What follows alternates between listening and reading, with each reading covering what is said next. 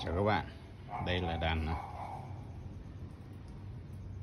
Egu nhà mình. Đấy, các bạn nhìn thấy đây.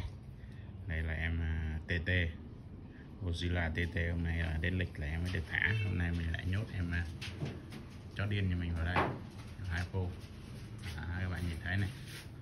Hai pô này nó có một cái đặc điểm là nó ở ngoài thì nó ít sung nhưng mình phải nhốt vào trong kia cái nó phát hiện ra có mùi con khác cái con đực khác nên nó sung đây còn con TT này thì nó ăn như heo các bạn. Đấy. Các bạn nhìn này? Ở dưới này là có một anh à, rồng ốc. Rất chi là mắc cười. Như thả lang thang mình chả cho ăn gì nó ăn rau ăn bắt rán nó ăn gì cái đàn này là nhà mình là còn có một em này. Là chưa đẻ.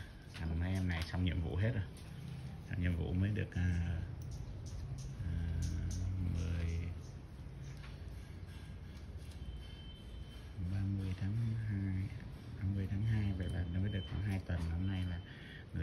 hết rồi nha các bạn nhé. Đó. À, nó được cái là nó rất chi là nhanh. Đợt này à, có cái con này này. Con này cái nó yếu yếu cho cái này già rồi. Mình chắc phải à, bốn năm năm gì đó được. Thì cái chân nó cứ lết lết lết còn lại mấy cái này đẻ xong cái cái ừ, tuần đầu tiên gì nó thảm lắm nhưng mà sang đến cái tuần sau nó chịu ăn cái là rồi nó lại lại ngay. TT thì à, bây giờ đi ra mà chỉ có lo ăn mà. À, cái dàn gai của nó thì siêu khủng mà. À, rất hiếm được cả em mà có cái dàn gai nó bự này. Này lấy gen rất chi là tốt nha các bạn nhé. Đó này phối với à, nhà sang năm mình sẽ cho phối với cái dàn cái này.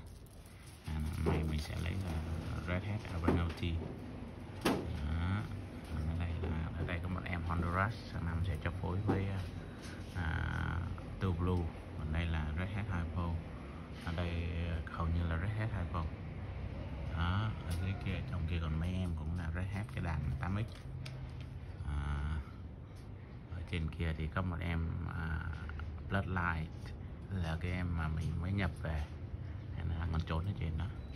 Còn trong này thì có em baby chuẩn bị thả ra luôn đây là em uh, em rồng ốc nhà mình đó còn mà này nó, nó sung nó ra là kiểu nó phát hiện ra lãnh thổ của nó có con đực khác. Nó ra là nó cứ cộng người lên. Đấy, cho nên là các bạn chơi igu mà chơi sống sinh sản, nên chơi à, hai ba con đực thì lâu lâu các bạn phải thả thay phiên. Tại vì khi mà các bạn thả thay phiên rồi thì nó định danh lãnh thổ lẫn nhau, nó sẽ sùng lên.